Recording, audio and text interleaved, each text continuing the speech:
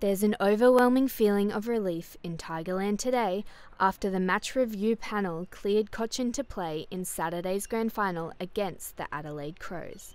Cotchin was sent to the tribunal over a hit on Giants opponent Dylan Shiel, which left the player concussed. The panel found Cotchin was seeking to win possession as his line of direction was always towards the ball and the contact wasn't unreasonable in the circumstances. It was welcome news for the captain's teammates. It's not always necessarily super flashy stuff which you respect them for, but it's those really hard, emotive moments that um, that really make him the captain that he is. Tigers midfielder Brandon Ellis and the Crows' Rory Sloane also have been cleared to play. The good news for the Tigers keeps coming with Dusty Martin not only tipped to claim his first Brownlow medal, but to beat the record vote tally of 35.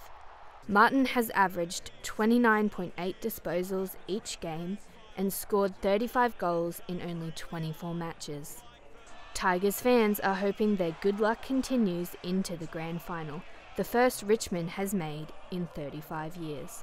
Tiffanie Turnbull, QUT News.